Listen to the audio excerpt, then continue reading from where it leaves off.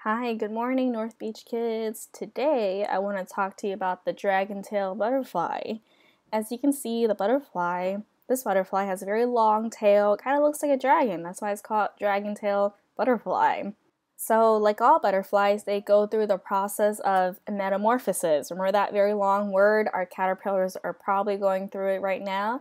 They start out as a little tiny caterpillar. They eat and eat and eat, and then they build a cocoon or chrysalis and then they stay in there for about two weeks and then they become this beautiful adult butterfly. So we'll talk more about that and what this caterpillar looks like before it turns into this pretty dragon tail butterfly.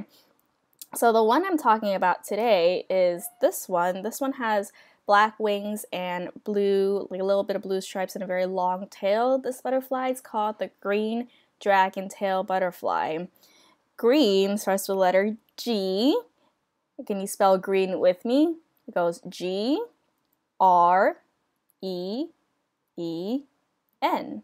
Green dragon tail butterfly. That's the name of this really pretty butterfly. I don't know why they call it a green dragon tail butterfly when it kind of looks blue and black, but it's very cool and very pretty.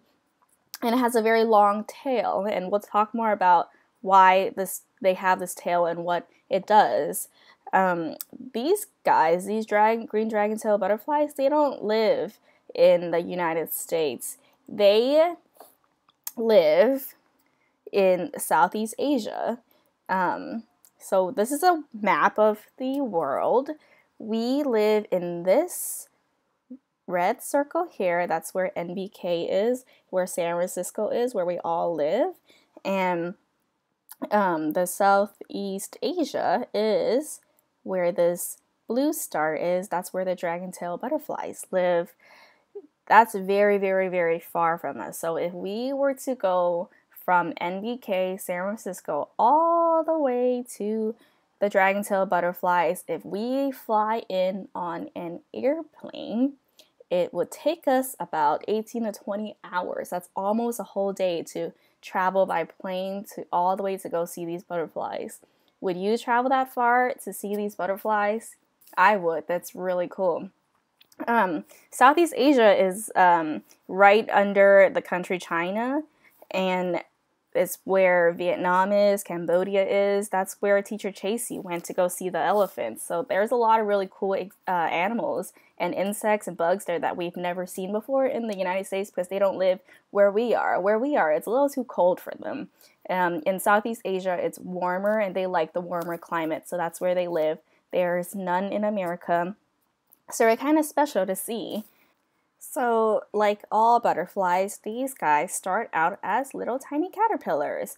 Then, when they are caterpillars, they are green. They're all green and have little black spots on them. They're different than um, the caterpillars we have at school because their head is a little bit bigger than the rest of their body so it's kind of a little bulge. The caterpillars we have at school are all one shaped, kind of like little worms, little caterpillar, fuzzy caterpillars. These guys are not as fuzzy.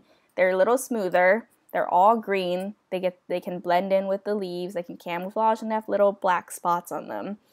Um, so they spend most of their time eating, like all caterpillars. They eat and eat and eat, and they eat mostly leaves. They eat and eat until they get very, very big and fat, just like the caterpillars we have at school.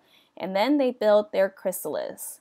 So when the caterpillars get big enough, they find a leaf, the branch, and they hang on to it and then they build their chrysalis around them and they still still stay in there for 10 to 12 days before they emerge as the dragon tail butterflies. And what makes these dragon tail butterflies so special is that they have a very very long tail.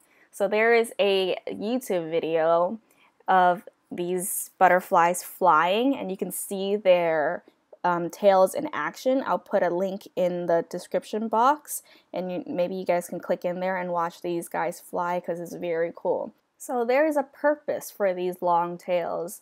Um, their tails are not just for it to look pretty and cool. They are very, very useful. Their tails serve as a rudder, um, kind of like this. This is uh, the end of a boat, and that's a long piece of uh, wood, or sometimes it's metal. and it helps steer the boat. That's called a rudder. So when you move the, when you have a steering wheel on the boat, if you move it or a lever, when you move that, it helps move the boat left and right. It moves the boat and steers it for you.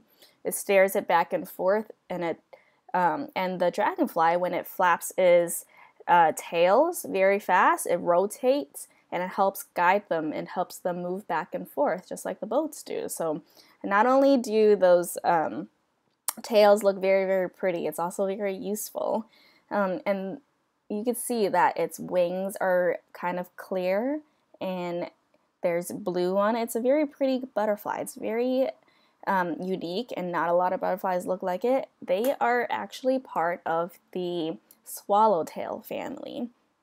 So what is a swallowtail butterfly? A swallowtail butterfly looks like this. Um, it has spots, it's different colors. We've talked about the monarch butterfly, and the monarch butterfly is the orange and black butterfly that um, we get to see here. Um, the swallowtail butterfly, a lot of them live in warmer climates, not in the um, United States, where it's not as hot.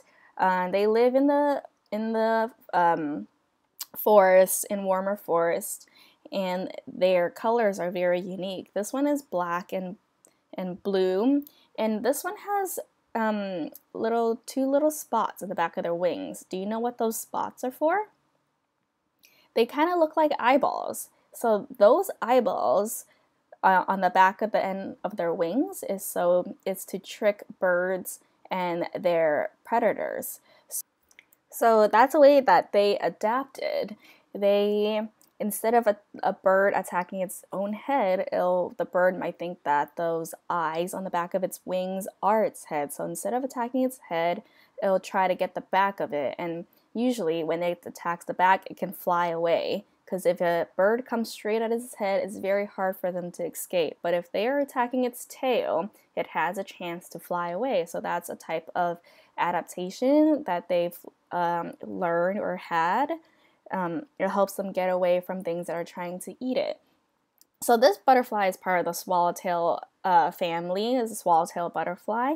And here is another butterfly that's part of that family. This one is another swallow, another type of swallowtail butterfly. It's a yellow and black butterfly, and like the other one, this one has two little circles at, in its back wings, and those are supposed to look like eyes too, and those are supposed to help it camouflage or act like a some uh, the eyes of another animal so that it can fly away when it gets the chance to. So let's look at this butterfly again. It's very pretty, the dragon tail butterfly. Um, it's it eats nectar just like the other butterflies. Nectar and it rubs the pollen against its wings. We haven't talked about that yet, so that's a very important job for butterflies. So butterflies, when they go in to drink their nectar, usually they rub the pollen against their bodies. And what that does is when the pollen gets rubbed onto their bodies and they fly away, they'll spread that pollen to other flowers. And when it does this, it's pollen has little seeds in there. So when they're flying away and it spreads the pollen throughout the uh, flower field, throughout the garden, it helps new flowers grow. So that's a very important job that butterflies have. So not only do they um, live where these flowers are, so that's why we tell you to not pick the flowers because but that's where butterflies get their food and where they lives, where it lives. Um, butterflies have a very important job of uh, helping new flowers grow from the pollen that gets rubbed onto their body when they're drinking the nectar.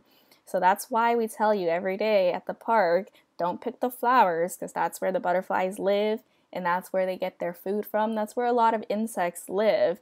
So when you pick the, those flowers, they don't get to get their food from that anymore and they need to find somewhere else. If you want to see pretty butterflies in the garden, then you got to leave the flowers alone. I know they're very, very pretty and you want to pick them and you want to give them to your mommies, but they serve a very important job for insects. So, yeah, this is a kind of a short shorter circle for you guys, but these are very cool and I really want you guys to go check out these butterflies flying. So click the link in the description box and you can see uh, these guys fly. There is a Japanese um, etymologist that is very um, interested in these butterflies and they did a video. They did a video of these guys flying in slow motion, and you can see their tails moving in circles very, very fast to help them fly. So go check out the video because it's very cool. And I'll see you guys again in our morning circle.